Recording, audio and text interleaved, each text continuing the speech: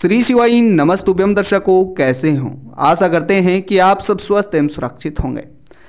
प्रिय दर्शकों, पवित्र फाल्गुन माह के बुधवार का अपना एक विशेष महत्व होता है।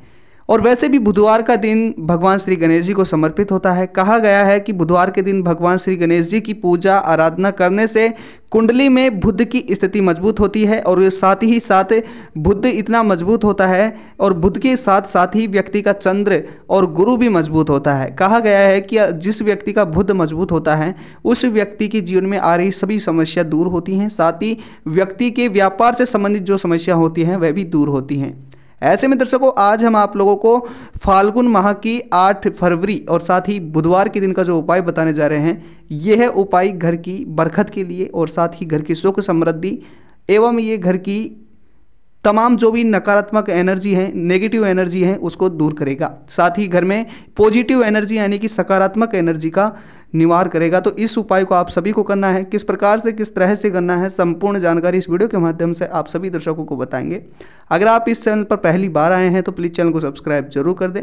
साथ ही वीडियो को लाइक कर दें और हर बार की तरह कॉमेंट बॉक्स में श्री शिवाय नमस्तुभ्यम ज़रूर लिख दें। प्रिय दर्शकों अगर आप इस चैनल पर पहली बार आए हैं और इस वीडियो को पहली बार देख रहे हैं तो इस छोटी सी जानकारी को, छोटे सी उपाय को अपने मित्र बंधुओं तक शेयर ज़रूर करें, ताकि अब आपके मित्र बंधुओं को भी इस उपाय का लाभ प्राप्त हो सके और जीवन में आ रही तमाम बाधाओं को दूर कर सके, घर में बरकत हो सके। तो इस जानकारी को शेयर ज़रूर करें। चले बिना किसी देरी की इस वीडियो को शुरू करते हैं। दोस्तों, इस दिन बुधवार का दिन पड़ रहा है, बहुत ही अच्छा दिन है। साथ ही दोस्तों, ये भी कहा गया है कि जो भगवान श्री गणेश जी हैं, इन्हें माँ लक्ष्मी का मानस पुत्र कहा जाता है। जैसा कि आप सभी ने कई बार, कई तस्वीरों में, कई प्रतिमाओं में माता लक्ष्मी के साथ साथ भगवान गणेश जी को अवश्य देखा होगा। इसलिए, क्योंकि माता लक्ष्मी का मानस पुत्र गणेश जी को कहा गया है। तो दोस्तों, ये भी कहा जाता है कि जिस व्यक्ति के ऊपर भगवान श्री गणेश जी की अगर महिमा, आशीर्वाद पूर्ण रूप से हो तो उस व्यक्ति को माता लक्ष्मी का भी आशीर्वाद प्राप्त होता है। ऐसे में आज हम आपको एक कारगर उपाय बताएँगे, इसे आप सभी को करना है। दोस्तों, इस दिन बहुत अच्छा दिन है, बहुत ही अच्छा संयोग है। इस दिन आप लोग इस उपाय को शाम के समय करें और हो सके तो चार बजे से पहले, यानी कि प्रदोष के समय करें। आप लोगों को ज़्यादा कुछ नहीं करना है, एक लोटा जल लेना है। उसी के साथ ही आपको, आपके घर में अगर तुलसी का पौधा है तो तुलसी का एक पत्ता लाना है और उसके बाद में आपके घर में से आपको एक इलायची लेनी है। दोस्तों, उस लोटे में आप गंगा जल भर ले।